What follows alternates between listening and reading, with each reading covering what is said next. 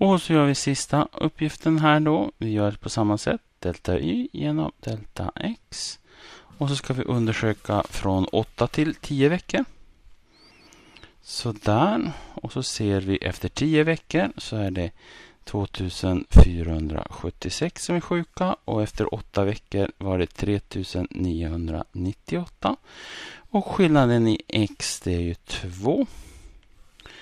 2, 4, 7, 6 minus 3, 9, 9, 8. Det är då minus, nu ska jag säga minus 1, 5, 2, 2 genom 2. Som är lika med minus 761 stycken per vecka.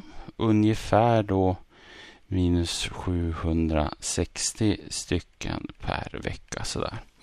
Och tolkning. Vad betyder det här minustecknet? Jo, att hastigheten minskar. Det är ju ett minus, alltså antalet sjuka minskar. Antalet sjuka minskar med 760 stycken per vecka i det här intervallet.